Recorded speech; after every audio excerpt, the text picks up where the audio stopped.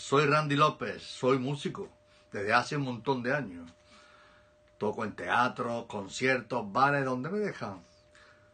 Acabo de grabar un disco nuevo.